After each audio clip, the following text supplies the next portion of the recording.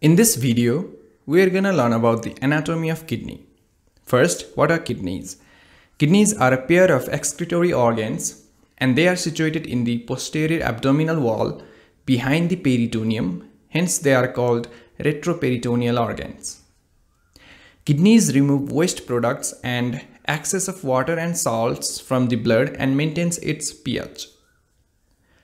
Right kidney lies slightly lower than the left kidney because of the presence of huge right lobe of liver above it.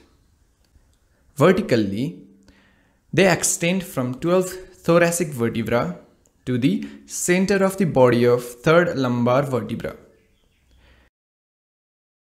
Each kidney is about 12 cm long, 6 cm broad and 3 cm thick. The long axis of kidney is directed downwards and laterally. The transverse axis is directed laterally and backwards. Now let's talk about the external features of the kidney. And I'll also tell some points on site determination of the kidney. Each kidney is bean shaped. It has upper pole which is in close contact with the suprarenal gland and the lower pole. To differentiate these two poles, the upper pole is somewhat thick and rounded and the lower pole is thin and pointed. There are two borders, the medial border which is concave and the lateral border is convex. Each kidney has two surfaces, anterior and posterior surface as I have outlined them down here. Anterior surface is said to be irregular and the posterior surface flat. But it is often difficult to recognize the anterior and posterior aspects of the kidney just by looking at the surfaces. So a better way to do this is to examine the structures present in the hilum as I'll describe them now. The anteriormost structure in the hilum is the renal vein. Behind the renal vein is the renal artery. And the posteriormost structure is the renal pelvis which continues down below as ureter. You can remember this as VAR from anterior to posterior. Now let's look at the relations of the kidney or the parts that are surrounding the kidney. First, anterior relations. Since we are looking at the kidneys from anterior view, so the right kidney is on the left side and the left kidney is on the right side. And here we have the vascular supply of the kidneys. First, let's talk about the anterior relations of the right kidney. The uppermost area is covered by the right suprarenal gland and we have areas as hepatic area.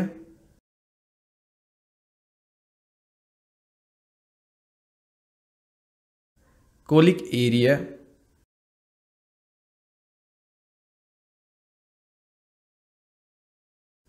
Jejunal area. And duodenal area covered by the second part of the duodenum. And remember, the areas colored in blue are those covered by the peritoneum. Now moving on to the anterior relation of the left kidney. Again, the uppermost part is covered by left suprarenal gland. And then we have gastric area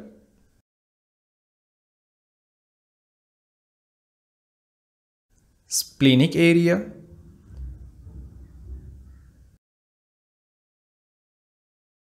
pancreatic area,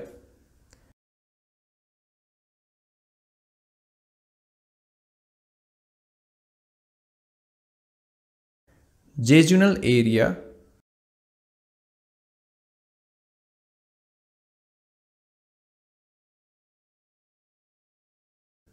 and at last colic area.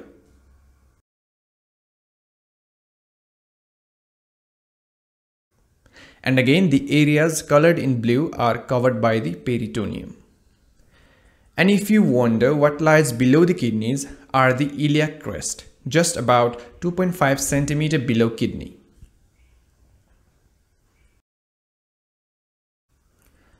Now on to the posterior relations. But this time, since we are looking from posterior view, the right kidney is on the right side and the left kidney is on the left side. Lots of structures related to posterior side of kidneys are common. The most part of the upper half is covered by the area of diaphragm.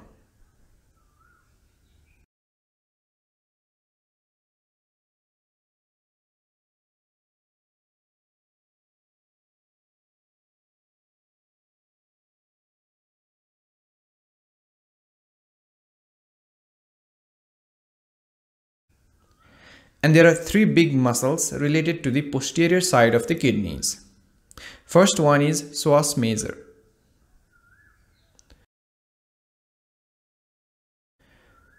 And we have quadratus lumborum on the middle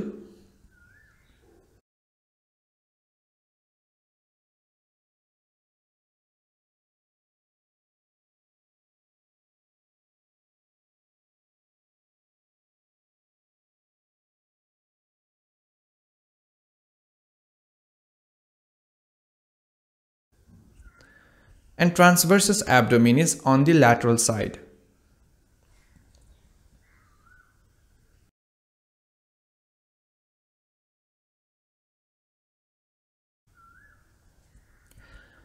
The left kidney is related to 11th and 12th rib, whereas the right kidney is related only to the 12th rib since it lies slightly lower than the left kidney.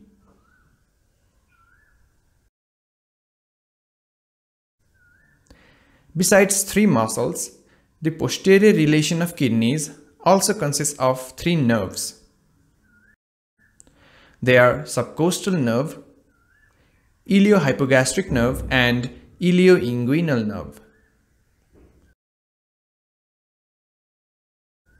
Subcostal vessels are present along with subcostal nerve.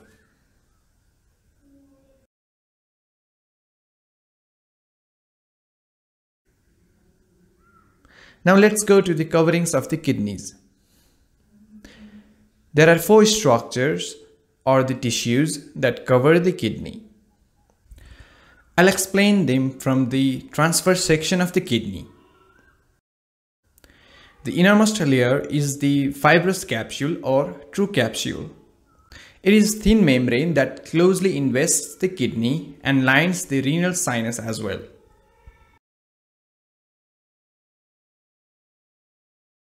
Outside of the fibrous capsule, there is a layer of adipose tissue called perinephric fat.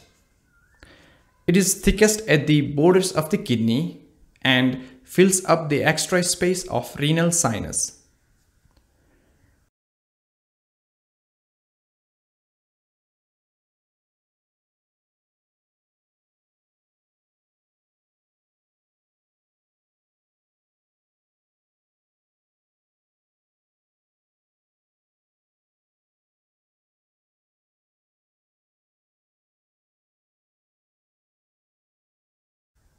The third layer of renal coverings is called renal fascia or false capsule.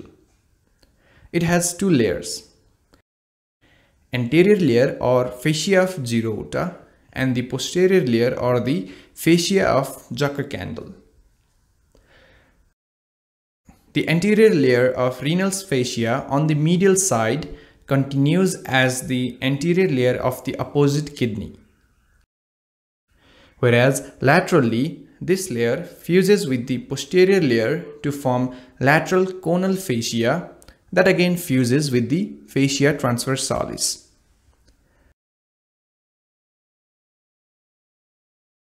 Posterior layer on the medial side fuses with the fascia of psoas major that is attached to the vertebra.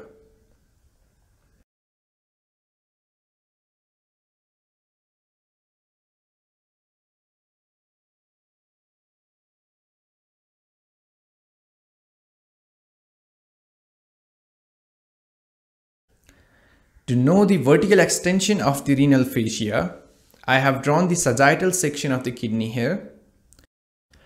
The renal fascia fuses above the upper pole of the kidney before splitting into two. It covers up the suprarenal gland and again fuses to continue as suspensory ligament of suprarenal gland. The suspensory ligament then gets fused to the diaphragmatic fascia. Below, this layer do not fuse and are lost in the peritoneal tissue. Finally, the outermost covering is again the adipose tissues called paranephric fat. It is more abundant posteriorly and towards the lower pole of the kidney. It fills up the paravertebral gutter and forms a cushion for the kidney.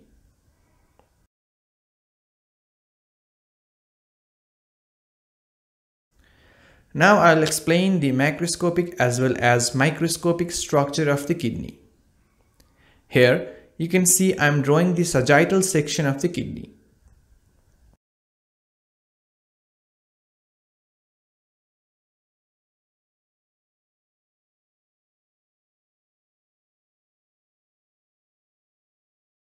On naked eye examination, the kidney consists of outer cortex and inner pyramid cept medulla. Some cortex invades into the medulla and these are called renal column of Bertini. Cavity within the kidney is called renal sinus which is occupied by the renal blood vessels, pelvis, lymph nodes and perinephric fat. And there are some ray-like structures coming out of medulla into the cortex. These are called medullary rays or Ferrein's pyramid. The area of cortex lying on the base of medulla are called cortical arches. The renal pyramid capped with adjoining cortical arch forms a renal lobe. On average, there are around 7 to 18 renal lobes in one kidney.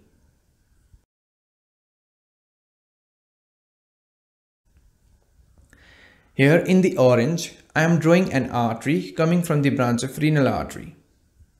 The interlobar artery runs between two pyramids and divides into arcuate artery which further gives interlobular arteries. The area between two interlobular arteries with a medullary ray in the center is called renal lobule.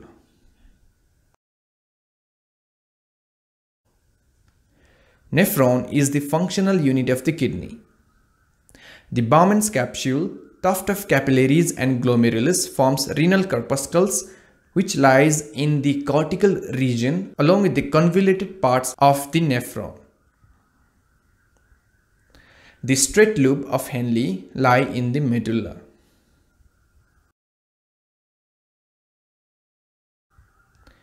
Many of these nephrons drain into a collecting duct or duct of Bellini. The duct of Bellini opens into the renal pelvis through an opening called renal papilla at the area cribrosa of the renal pyramid.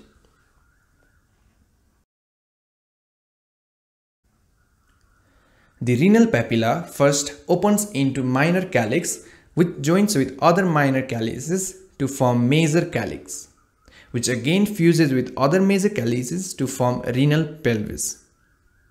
The renal pelvis comes out from the hilum and continues as ureter proper.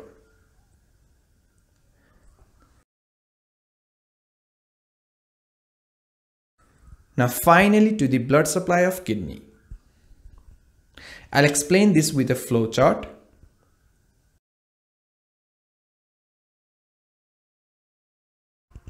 Here I am drawing abdominal aorta which at the level of L2 gives renal artery. The renal artery gives five segmental branches that divide the entire kidney into five vascular segments. On anterior aspect, there are apical, upper, middle and lower segments and in the posterior aspect, there are posterior and some parts of apical and lower segments. Each of these segmental arteries give lobar artery. The lobar artery divides into interlobar artery. The interlobar artery divides to form arcuate artery. From the arcuate arteries, there arise interlobular arteries. The interlobular arteries now give afferent arterioles which forms the glomerulus.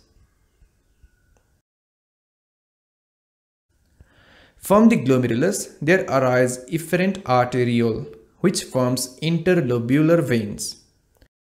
I'm not going to draw veins because it's going to look very congested and also it's very easy because the veins follow the exact pathway the arteries came in. I have written them side by side to their corresponding artery. The interlobular veins drain into interlobar veins, which drain into lobar veins and the lobar veins into segmental veins. Segmental veins unite to form renal vein which ultimately drains into inferior vena cava.